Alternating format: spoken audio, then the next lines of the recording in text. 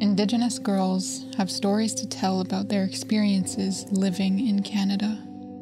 Growing up in a country forged by violence, Indigenous girls have something to say about centuries of dispossession and domination carried out by white settlers.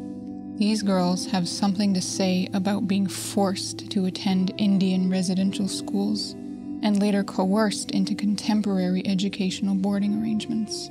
If you are willing to listen, they would tell you about the 60s scoop that scattered them across the globe and today's child welfare system that rotates them through foster care homes, group houses, and hotels until they are aged out. They might even describe the complex series of prison pipelines that led Indigenous youth to make up 43% of correctional service admissions. Pipelines that look like being trailed down shopping aisles by rent a cops, or the eyes that follow you down a suburban street and tell you to keep moving if you don't want trouble.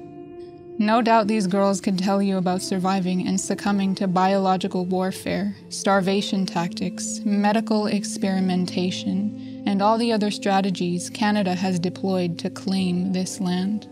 Too often, Indigenous girls disappear, and the ones left behind must make sense without their stories.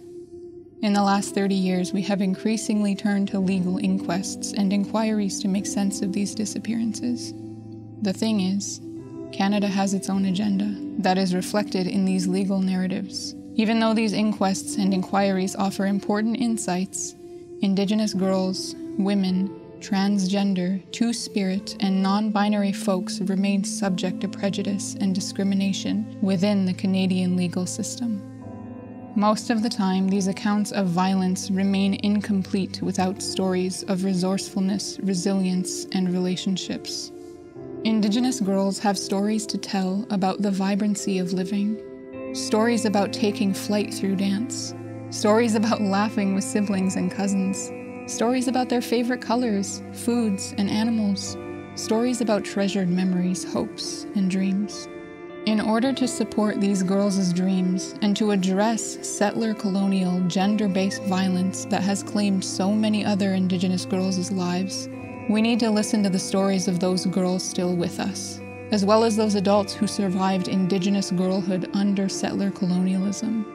Writers, poets, and playwrights like Tasha Spillett, Katherena Vermette, Tracey Lindberg, Beatrice Culleton Mosionier, Eden Robinson, Marilyn Dumont, Dawn Dumont, Cherie Dimaline, and Maria Campbell have shed greater light on Indigenous girls' experiences.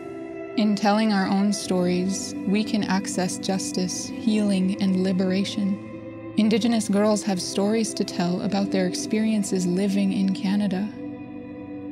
It's time for us to listen.